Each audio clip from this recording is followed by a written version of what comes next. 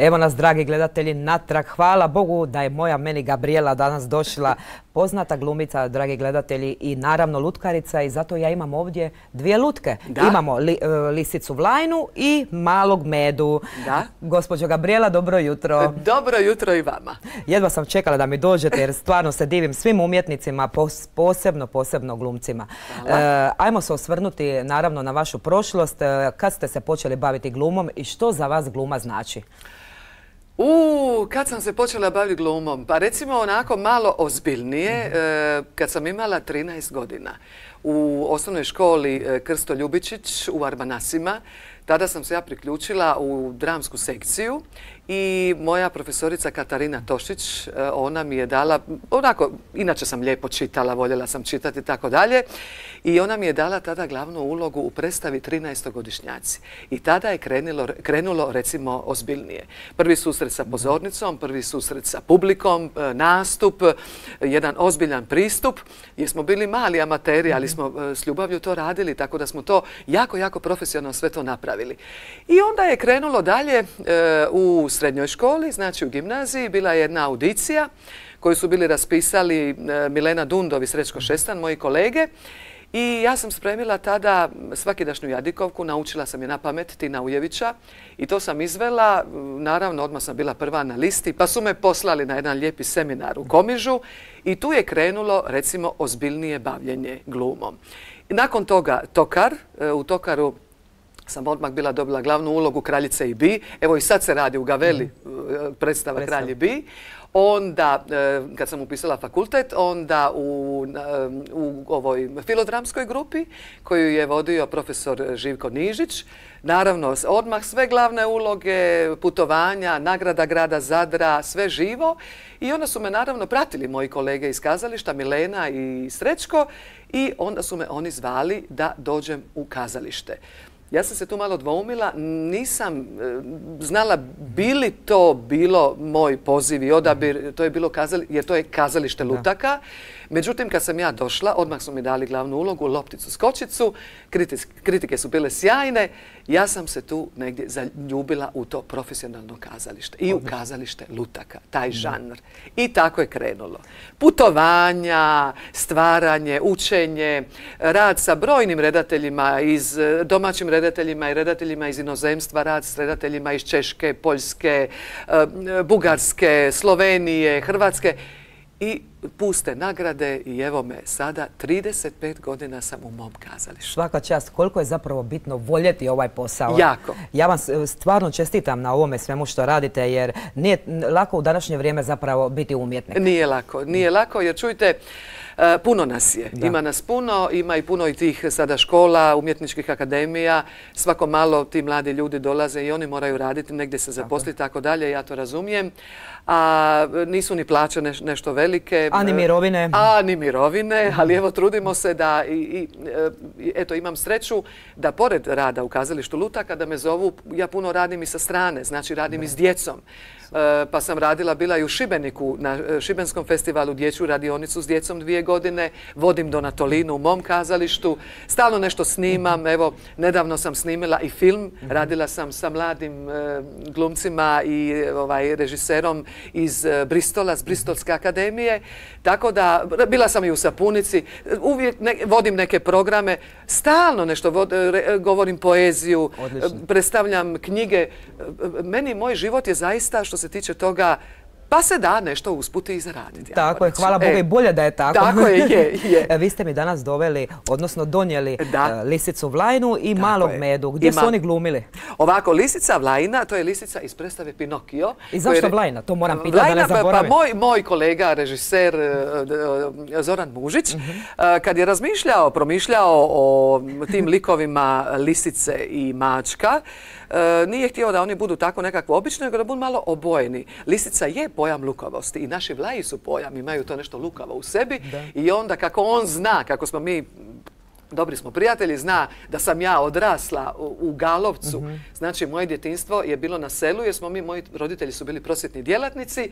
Mi smo živjeli u školi u Galovcu. A ljeta sam provodila ljeti na drveniku na otoku. Tako da sam ja negdje kombinacija, vlaško-bodulska. I onda znate kako sve funkcionira. I onda je on meni rekao, slušaj, ti bi mogla ovu glumicu malo bojiti vlaški. I tako je ova moja Alisa, mhm.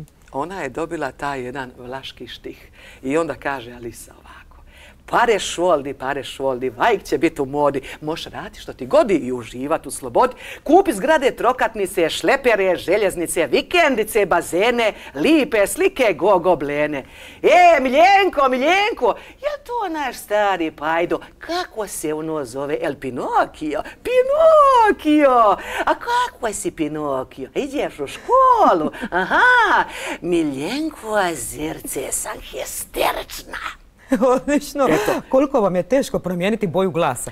E, čujte, nije jer ja kad vidim lutku, ovako kad je lutka recimo napravljena kao ova, kad je ona figurativna, konkretna, kad ona podsjeća, kad ima ovakvu jednu fizionomiju i karakter, onda vrlo lako, e, kako bi vam rekla, malo se promišlja i onda probate, isprobavate, istražujete i onda vidite da to funkcionira. Naravno u odnosu sa svojim kolegama, sa drugim lutkama i tako dalje. Medo, medo. E, to je, a to je mali med. E, sad, sad bi mogli da vidite kako, kako mali.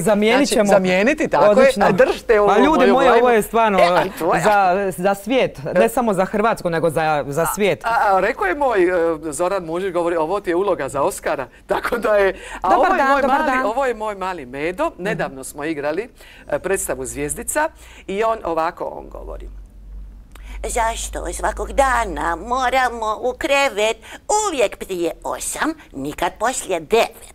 Pola svog života ja sam prespavao zimu, snijeg i led, nisam upoznao. Upravo zbog toga ja sam mami čudan cijelu ovu zimu. Želim biti budan. Upravo zbog toga ja sam mami čudan cijelu ovu zimu. Želim biti budan. Mamice, mamice, ustani, došlo je proljeće.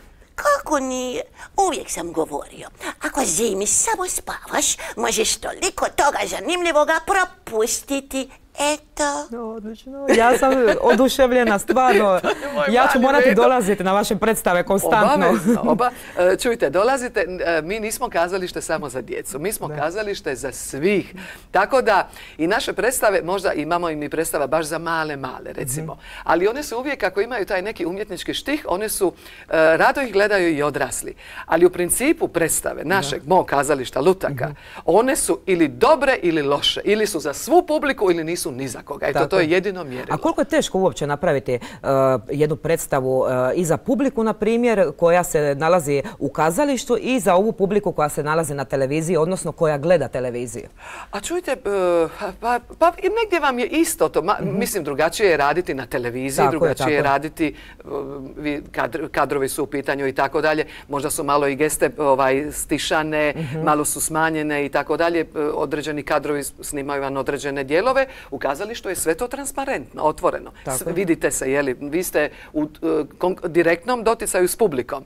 U, na, na filmu, na televiziji možete nešto i odrezati, ponoviti, izbaciti i tako, dalje. U kazalištu nema popravka. To je to. Što ste napravili, kako vas je publika doživjela, to je tako. Ili će se stvoriti nekakva, e, neki odnos, neki feedback, publika vas zavoli ili, ili ne znam, ili neće. Ali uglavnom, mislim, e, ako ste vi dobar glumac, e, to ide. I ako je dobra predstava, onda to funkcionira i u kazalištu i na televiziji. A što je sve zapravo potrebno imati da bi neka osoba bila dobar glumac ili odličan glumac na koncu? Što je sve potrebno imati. I na koji način, kako publiku zapravo uvjeriti u ono što se govore. Eto, e, evo vi recite kao profesionalac. Pa ja mislim najprvo trebate imati talenta. Mhm. Morate, morate, inače umjetnik bez talenta, to, ja mislim da se to podrazumijeva. Morate puno raditi, morate voljeti to što radite.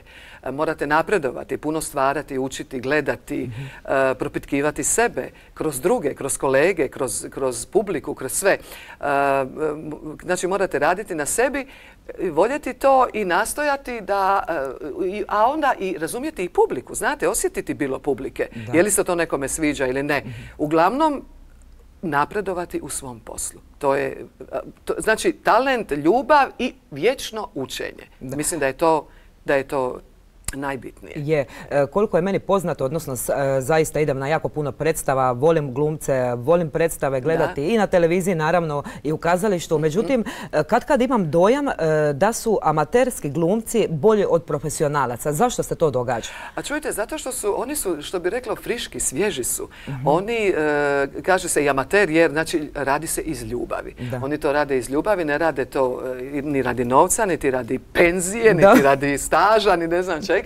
Možda su, možda su profesionalni glumci malo zasićeniji. Možda znate kad igrate jednu te istu predstavu, recimo mjesec dana, možda mhm. dođe do malog nekog zasićenja i tako dalje, ali mislim, ako volite taj svoj posao, to, to nekako prevladate, to ide dalje.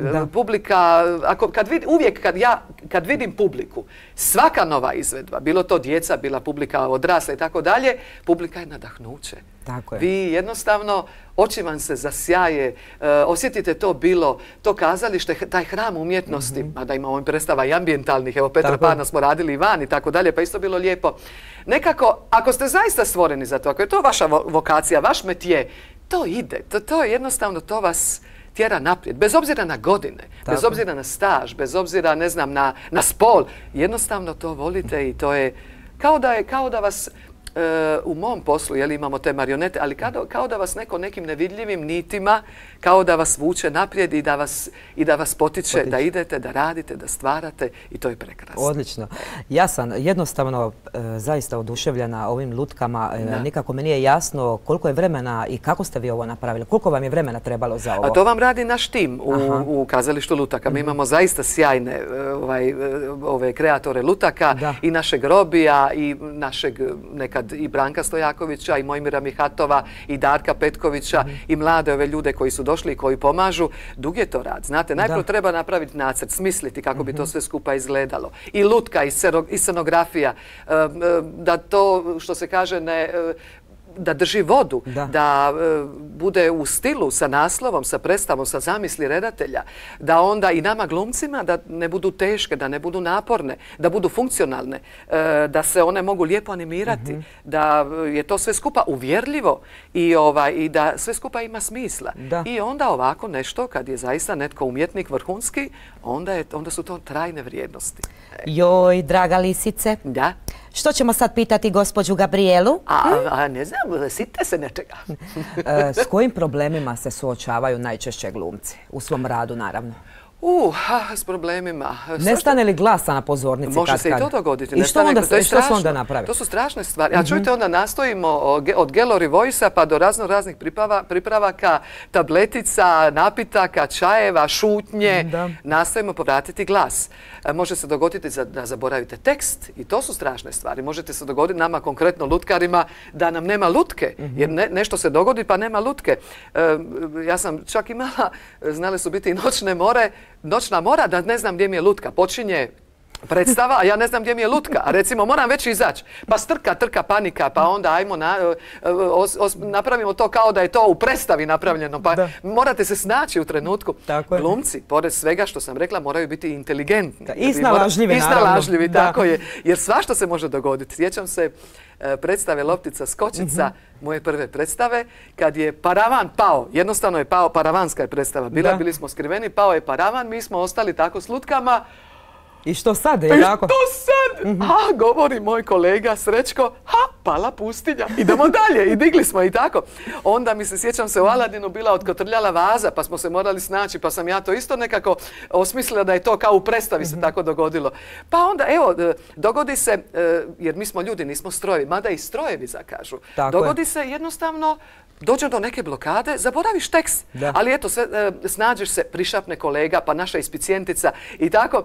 Ovaj, ma može, svašta se može dogoditi živom čovjeku jer kazalište je živo. Ono je živo. Zaplaće neko dijete u publici. To isto malo vam smete koncentraciju i tako dalje. Sve, sve to mi smo već, što bi se reklo, stari igrači, pa smo već navikli, ali evo, mlad, mladi ljudi, mladi glumci koji dolaze, oni uče i snalaze se u takvim situacijama. Slažem se u potpunosti. pratim vas, pratim na fejsu i svugdje.